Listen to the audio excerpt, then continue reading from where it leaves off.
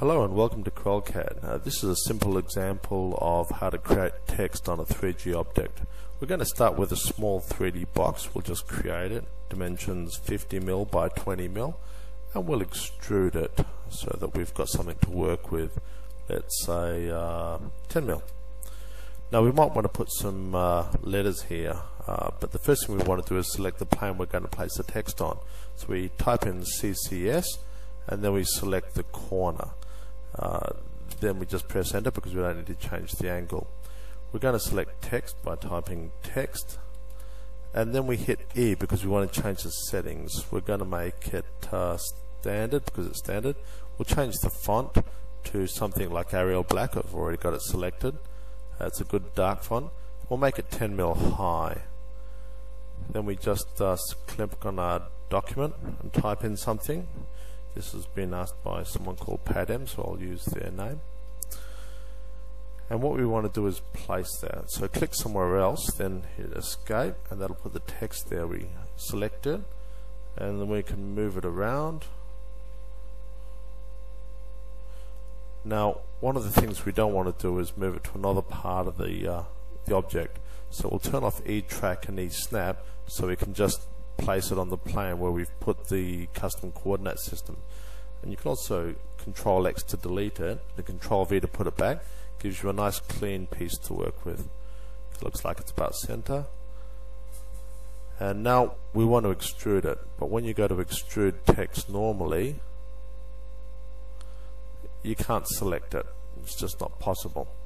So we have to explode it. And to do that, we do EXP TXT. Oh, sorry, that's uh, TXT EXP. Then it says what's the entity. We'll click on the text and right click and that's now exploded it. These are now individual parts of letters.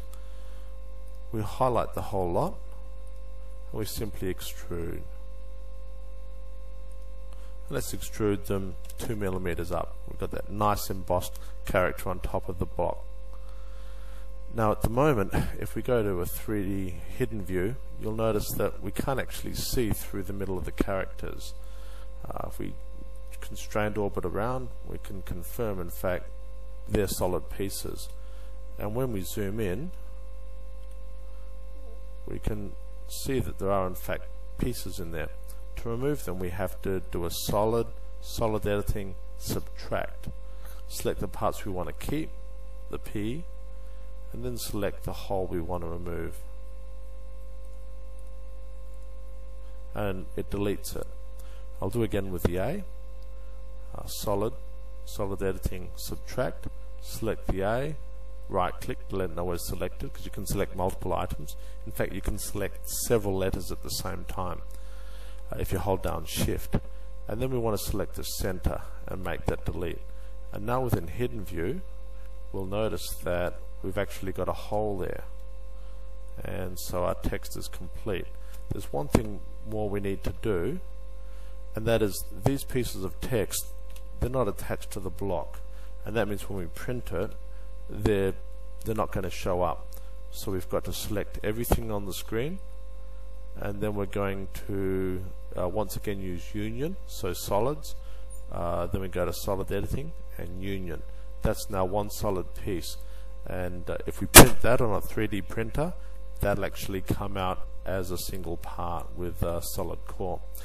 Now that's if you want to make the text stand up above the block. Uh, you'll notice as I constrain view that the text is showing up on top.